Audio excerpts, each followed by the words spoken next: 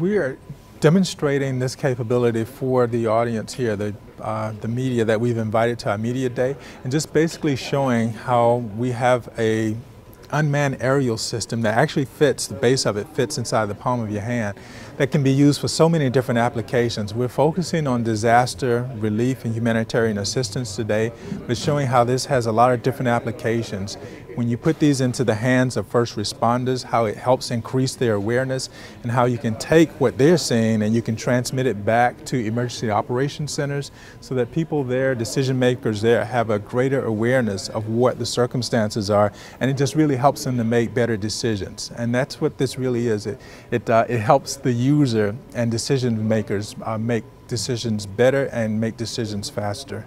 Right now, the Department of Defense uses them. Uh, we have them with ground troops that are in Afghanistan.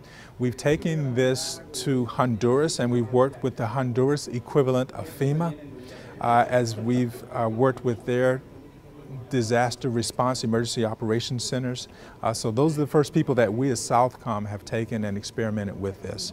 Uh, this is a, a, an it was an experimental capability. Uh, now it's actually an operational capability, but really over the past year and a half it's been developed.